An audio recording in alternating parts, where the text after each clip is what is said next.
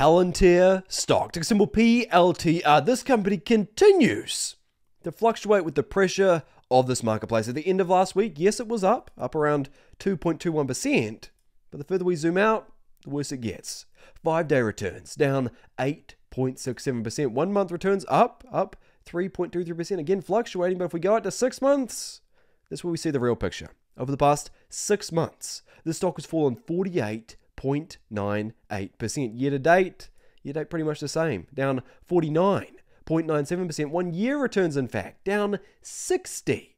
2.44%. If you invest in Palantir an entire year ago, 52 weeks ago, you would still have lost over 60% of your money. It is the sad reality with Palantir. And although we are up from the IPO price, up 0.76% from the IPO price, this certainly isn't the return people were speculating about back on October 2nd, 2020. They were saying this was going to be a world changing company, and during that speculative bubble, it certainly was. Went up over 282% in value in just a space of just a few short months, and yet the declines. The declines are what we know with Palantir. So, with the pain continuing to perpetuate around this company, with the company continuing to fall in value, fluctuating day to day, is there finally a buying opportunity present? Is there finally a chance to start incrementally buying this company? Or is it simply too late? Is it still too dangerous and we should be staying away until the stock price declines a little more? Well, when you actually investigate it, when you actually break it down, despite the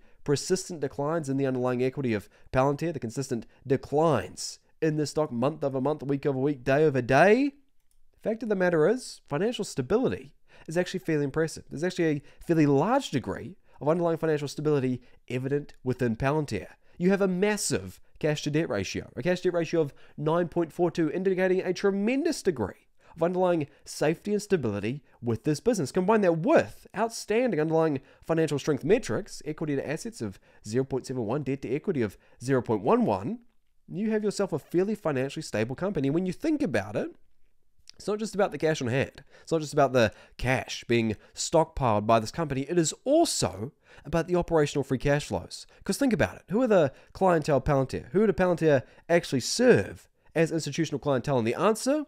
The answer is large scale enterprises, large scale institutions, even government institutions. Those are the type of people that Palantir serves. And ask yourself, yes, in a recession, consumer discretionary spending dries up. Consumers aren't spending as much, but these large scale enterprises, these large scale clientele, they continue to spend. So even in the face of a recession, which is likely on the horizon, if not already begun, you know, Palantir's still in a fairly advantageous position.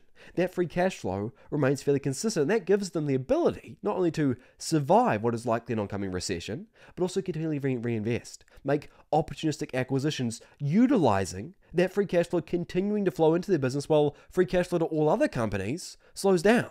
That's the power of Palantir. Constant free cash flow and constant, a large war chest of cash on hand, exuding a tremendous degree of underlying stability with this business. That's all reflected in the Altman score, an Altman score of 10.42, indicating a tremendous degree of underlying safety, stability, and certainty with this business. It is a company that, by all accounts, is not going away. It is here to stay. Despite the volatility in the marketplace, despite the people around the marketplace saying, listen, can't possibly be touching this company, can't possibly be touching a company that's down almost 50% over the past six months. But when you actually look at the numbers, when you actually analyze the business on a fundamental level, the narrative you get is vastly different.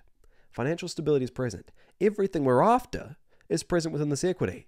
But what about profitability? The main negative selling point that people think people point to as investors and say, listen, can't possibly be buying Palantir. They say because the profitability is so bad. And that I can't really argue with them there. The current net margins are pretty awful. Negative net margins of negative 30.25%. Operating margins just as bad. Negative 20.43%. But look at this.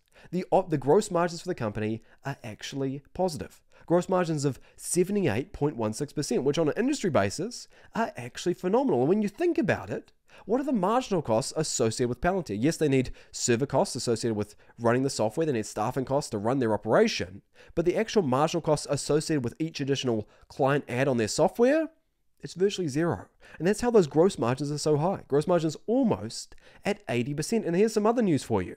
The operating margins, the net margins, which are still currently negative, they've been incrementally increasing over time and getting better and better and better year over year. Look at this. net margins are at their historical high for the company. The median over the past decade has been negative 87.74%, and yet now they're only negative 30.25%. They're getting better and better and better quarter over quarter. Operating margins, also the historical best they've ever been at, and gross margins are the same story. So, yes, the margins are negative at present, which isn't super ideal, but they're getting better and better and better. Every single quarter, they seem to improve and improve and improve, which is a very appealing thing from a long term investor. If you're speculating on Palantir, if you're focusing on the next six months, 12 months, then not at all. Ignore everything I've said. But if you're a long term investor, someone focused on the next 5, 10, 15 years, these trends are very appealing. They tell the narrative of a very, very appealing long term investment prospect. So, evidently, you have a high degree of financial stability. You have profitability. That's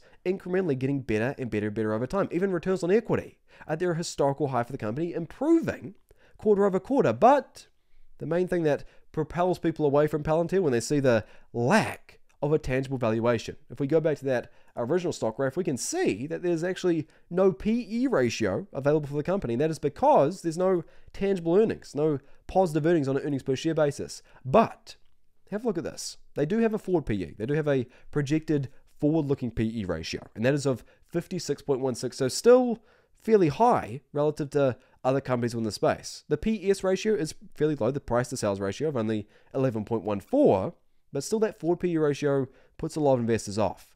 But think about it. Think about the actual tangible growth likely to take place in this company, and then compare it to that PE ratio. You get a pretty interesting result. Let me show you.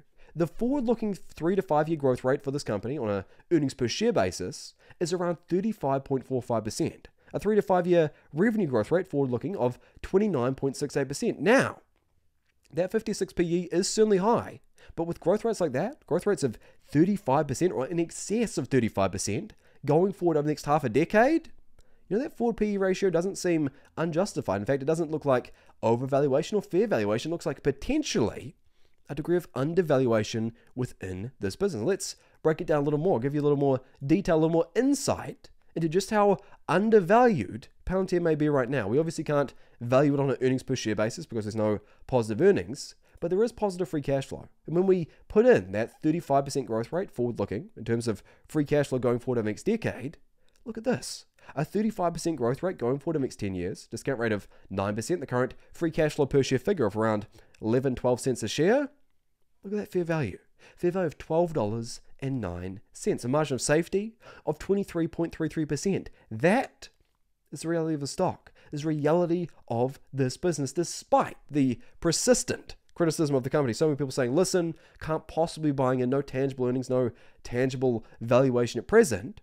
When you actually value it on free cash flow, the most fundamental of valuation metrics, undervaluation becomes apparent. I think that's the reality of this marketplace. Even a stock like Palantir, which has largely speculative qualities over the past few months, appears undervalued. There appears to be a buying opportunity present. Fear has taken such a firm grip of this marketplace that even now, these companies that were supposedly speculative now look undervalued. That's the reality of this marketplace. It's really the opportunities evident around this marketplace more broadly right now. Companies that have massive long term growth prospects trading substantially below their intrinsic value. And right now, I think if you can tolerate the fear, tolerate the volatility, there's never been a better time to buy. But of course, conduct your own research first, look into the company before you make any moves. But if you enjoyed this video, if you have to learn something more about my current thoughts on Palantir relative to the market more broadly, then please drop us a like down below, hit subscribe if you haven't already. If there's a company or topic you want me to talk about in the next video, then please just comment down below. Would love to hear your thoughts. But until then, thank you. I'll see you in the next one.